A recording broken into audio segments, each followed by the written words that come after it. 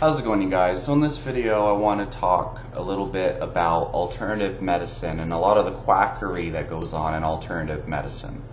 So uh, first of all, alternative medicine is simply a term used to describe any uh, faucet of healing or attempt to heal that is outside of mainstream conventional treatments. I've heard a lot of irrelevant claims that uh, there is no alternative medicine. Uh, me, uh, medicine is any anything that works. Anything that works is considered medicine. When in reality, that's actually not true. Um, medicine, in particular, especially mainstream medicine, allopathic medicine, conventional medicine, simply refers to um, pharmaceutical interventions.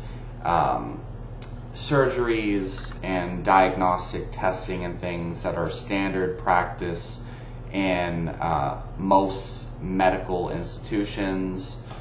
Uh, typically, when a medical doctor receives his medical degree or her medical degree, um, that just simply grants them the ability to prescribe medications, diagnose uh, medical problems, and stuff surrounding medicine. That's what medicine really is. Um, it is not common practice for mainstream medical practitioners to recommend nutritional interventions or anything like that, despite the overwhelming evidence that a lot of these diseases that people are being treated for, including things like Crohn's disease, mainstream medical practitioners generally, uh, the only thing that they can really do is remove their colon and hope that that somehow helps. Uh, whereas there's a lot of functional medicine practitioners and even dietitians who uh, look for food intolerances, and a lot of times um, I've seen many practitioners, dietitians who actually find food triggers that completely, when they remove the food intolerance, uh, relieve the patient of uh, Crohn's disease symptoms entirely and over time, depending on what that intolerance is, they may or may not be able to add the food back in over time. Um, so, with that being said, um, it is a fact that there is a lot of quackery involved in alternative medicine, a lot of parasite cleansing, uh, detoxing. You have these people who go on juice fasts uh, or dry fasts for extended periods of time. Uh, and then you you see YouTube videos of them drinking their own piss. Uh, you see you know raw vegans who basically malnourish themselves to death, and then they have like mucus coming out of their eyes, and they claim that that mucus coming out of their eyes is a symptom of detox and it's a healthy thing. When in reality, they're actually chronically malnourished and exhibiting signs of extreme uh, nutrient deficiency syndromes. Um, and I mean, I can go on and on. Um, so I have this book here by Hulda Clark, who claims to be able to cure cancer through parasite cleanses and heavy metal detoxes. Uh, I admit I have not read the book from front to back, but um, and I'm not claiming that she is a quack or anything, or and I'm not saying that her ideas are completely wrong or anything. But um, I have found that a lot of people they fall into a trap of believing they got to cleanse themselves for years and years, and they never experience relief of the symptoms they were originally trying to treat in the first place. In fact, a lot of times people they start off with some very simple uh, symptoms, and they go to these alternative medicine practitioners. Uh, and they get them on like hundred dollars worth of supplements and a, a, a really strange nutrition uh, protocol, and the health problems that they originally came with, they develop even worse problems than they started with uh, simply by adhering to the crazy protocols that a lot of these alternative practitioners recommend. So, you know, for me personally, if anyone's familiar with most of my recommendations, it's entirely trial and error, um, targeted nutrition, uh, for the, the individual's specific situation. Um, you know, addressing nutrient deficiencies and food intolerances is generally what a lot of these mis- so-called mysterious diseases is usually the cause. Very basic nutritional changes. Um, getting enough of the nourishing foods your body needs that it can actually digest and absorb, and removing the foods that might be triggering symptoms, right? And this can look very different for many different people depending on what individual disease you're attempting to reverse or condition or whatever. Um, nine times out of ten, most people's problem is not a parasite or a bacterial infection or a heavy metal poisoning. Uh, most of the time, nine times out of ten, people don't need to remove their colon. They don't have an aspirin deficiency or a, you know, like most people they have been fed the wrong health advice. They've been told by people like Dr. Berg that they must eat eight cups of vegetables a day, take their fiber supplement, and then take some of their uh, nutrient supplements on the side. Um, you know, you have a lot of people that are promoting this idea that you got to live in a cave because Wi-Fi and EMF waves are ruining your health and all this stuff nine times out of ten, that's not actually your problem. And, you know, most people, for whatever reason, are going to believe in all of this crazy, super complicated nonsense that has no basis in basic physiology. Not to say that EMF doesn't affect our physiology. Okay, I've talked a little bit about the nuances of that before. I'm not saying that EMF is perfect. I'm not saying that EMF is harmless. I'm not saying Wi Fi can't influence your health to some extent. What I am saying is that nine times out of ten, the very basic foundation of most people's health is not being addressed. Nine times out of ten, people's health problems that can include digestive uh, disorders, mental disorders, um, you know, inflammatory conditions, skin conditions, acne, lack of energy, insomnia, you know, um, a lot of these things, you know, arthritis, rheumatoid arthritis, uh, cystic acne, poly, polycystic ovarian syndrome, uh, spondylizing alkalosis or whatever. Um, you know, I can keep going on and on. Even things like asthma. A lot of these things have basic nutritional changes that need to be addressed.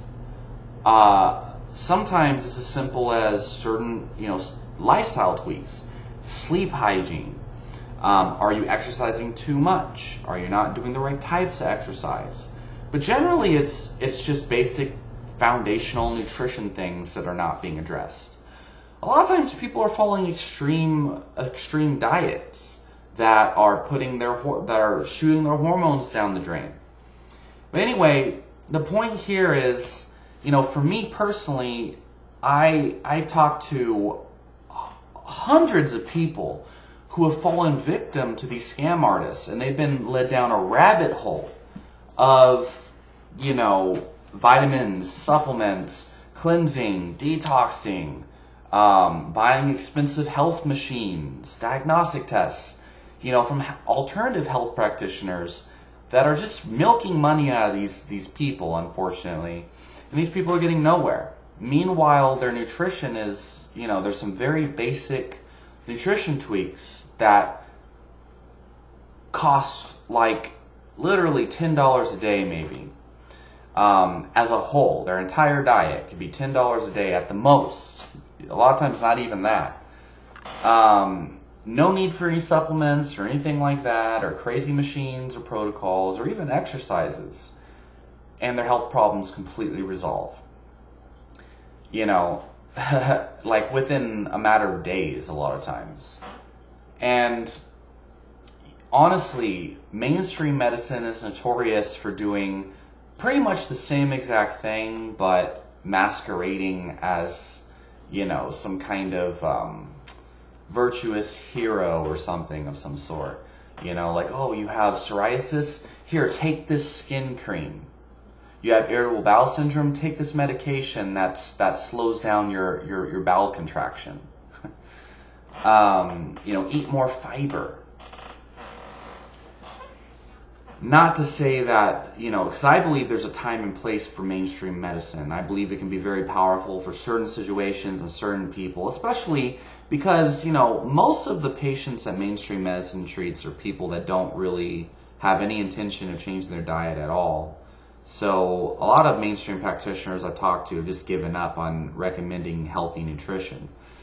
Um, and healthy nutrition that most doctors recommend is generally misguided advice that won't help their patients anyway because mainstream nutrition advice is hijacked by mainstream corporations and profit propaganda, uh, you know, mainstream corporate propaganda and stuff like that for profits.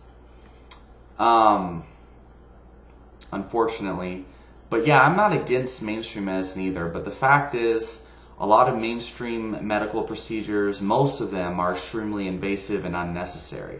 Removing your gallbladder because your gallbladder's uh, malfunctioning or you have a gallstone or something. You know, nine times out of ten, it's inflammatory foods that are that are overworking. Typically, it's high amounts of polyunsaturated omega-6 oils, especially deep fried vegetable oils that are causing people's gallbladder problems.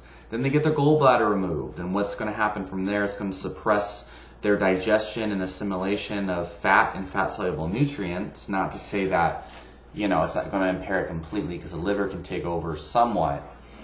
You know, or somebody who has like um, a an ovarian cyst, you know, doctors will a lot of times take out their their ovaries or remove parts of their ovaries.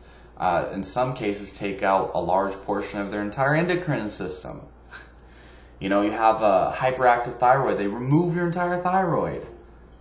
You know, and, and honestly, a lot of this stuff is extremely complicated. And so I can understand, like, I can understand why so many people might have trouble figuring out that, you know, some people with hyperthyroidism actually are having an overactive immune response due to um, allergic reactions to dairy protein, casein, or, or wheat proteins such as gliadin, not just gluten, but gliadin as well.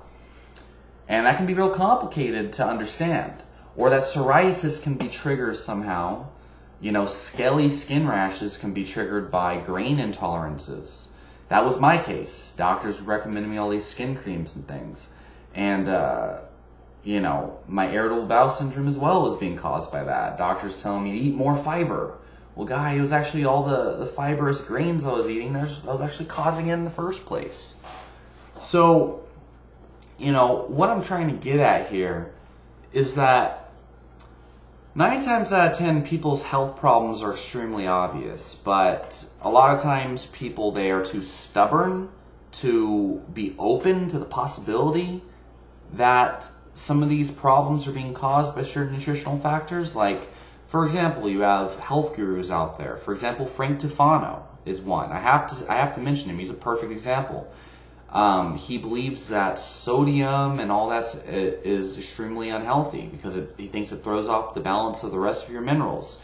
Meanwhile, he's been experiencing um, all sorts of symptoms of sodium deficiency and blaming it on histamine intolerance blaming it on EMF waves and Wi-Fi, blaming it on um, on iron overload, and he still hasn't solved his problems. But he makes these videos where he makes these absolute suggestions that he found is the solution to his health problem. A lot of these people they don't know what's really causing their health problem, and their stubbornness is preventing them to find it. You know, and in mainstream medicine, this is extremely common. Um, so it's a combination of stubbornness and then people needed to make a living, so they scam the crap out of people with solutions that don't actually help. And again, I'm not saying that Hulda Clark is a scam artist. Uh, I actually haven't read the entire book. I'm just familiar with her principles. But nine times out of ten, people can heal a lot of their diseases without following these crazy principles. Um, and, you know, for me, it's like I see these things are real obvious, and I just want to make them make people aware of these things. But a lot of people, for some reason, just they just don't want to listen. They don't they don't want to believe that their health problems that, that seem so complex and severe um, might actually be very simple.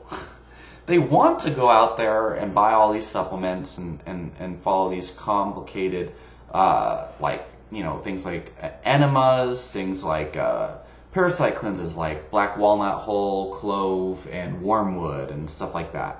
Not to say that they don't have their place, right? And and the thing is, hundreds and hundreds of people that I've I've talked to have had problems like this, and then like when I when I help them out, you know, within days they feel a lot better. You know, and I personally had the same problem, you know, for the first two years of my health journey. I was bamboozled by the blood type diet and raw veganism and, and, and cleansing parasites and you know, it's crazy the rabbit hole we go down. And then sometimes even we become super healthy and, and we resolve all our health problems, but we're so addicted to finding, you know, solutions that now we're looking for this nirvana of health that doesn't actually exist. And so you have people like uh, Vegetable Police, who's on this constant health journey to find solutions to a problem that he doesn't actually have. And he's developed uh, chronic, uh, what would you call it?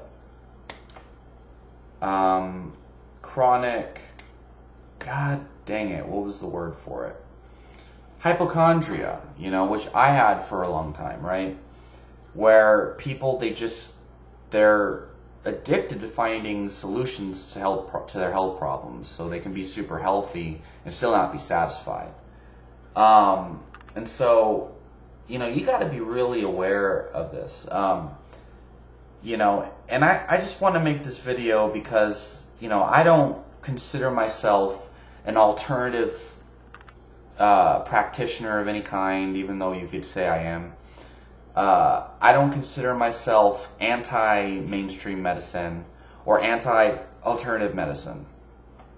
What I am is anti-bullshit, and what I am is pro-truth, especially as far as health is concerned. And it's very hard to find because nutrition science is all about gaining evidence and developing opinions based on evidence and asking questions about the available evidence. It's not about finding truths because you can't really do that. But a lot of people they're they're caught up in like this limbo land where they're not getting anywhere.